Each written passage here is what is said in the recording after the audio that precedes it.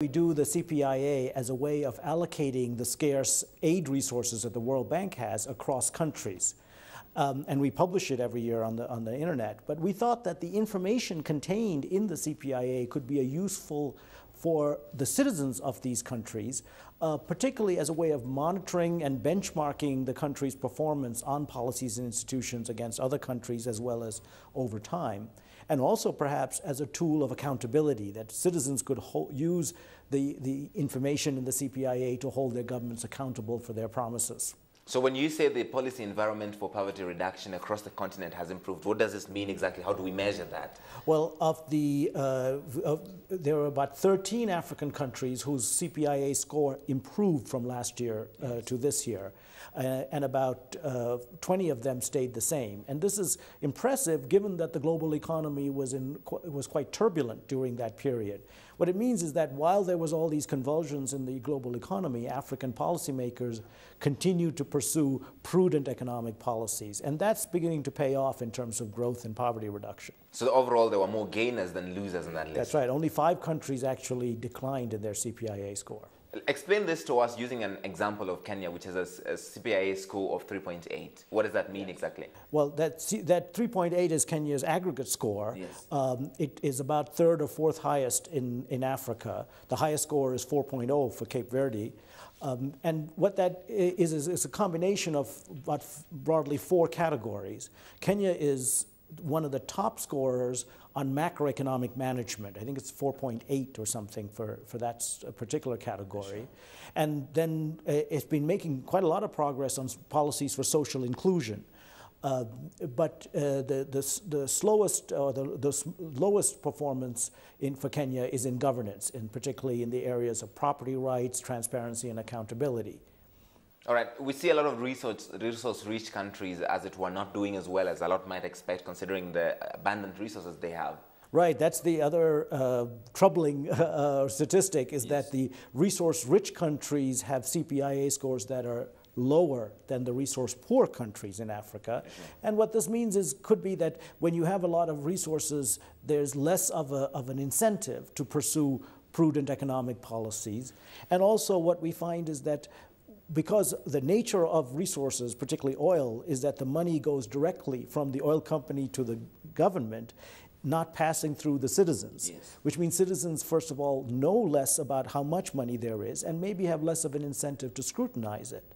And a big part of the CPIA is how well governments are spending their resources. And we find that across the board, the resource rich countries spend their resources more poorly. Let's tie that to economic management. In these times of a global economic slowdown, many people might think that governments do not want to be committed to economic reforms and just trying to make, do it right around that area. Is that the case? No, on the contrary. I think African policymakers, as they showed during the 2008-9 crisis, continued with prudent economic policies while the, the rest of the world was falling apart yes. on them. And this paid off because as we can see, the African continent, while it suffered from the 2008-9 crisis, growth fell to about 2%. In one year, it turned around. And that meant that following these policies and staying on track actually enabled Africa to benefit from the global turnaround. What are uh, the trends you see around social inclusion and equity? The, the, social inclusion and equity is, is not the highest performing score in Africa, but yes. we've seen improvements, including in this country. Yes. We're seeing go governments in increasingly developing social safety nets and social protection programs, like the Orphans and Vulnerable Children program here yes. in Kenya, which are also important during global recessions, because this is a way of getting targeted resources to poor people to cushion them from the worst of a, of a global recession. But governance still lags, like we were talking about Kenya earlier. Governance is still a problem all across the continent. Yes, the governance scores are the lowest of the four categories uh, across the continent. Uh, and, and as they are in Kenya, although Kenya is, I think, slightly above the African uh, average.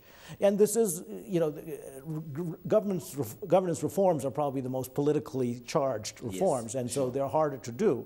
But uh, I think the good news is that countries have been making progress, including Kenya with the Open Data Initiative, and we are hopeful that the implementation of the new constitution will bring uh, some more governance reforms in the country. The progress you talk about, do you feel it is sufficient for African countries to lift the majority of the populations out of poverty? No, it's by no means sufficient. We still have 48% of the, of the African population living on $1.25 a day, and we need to bring that number down uh, radically.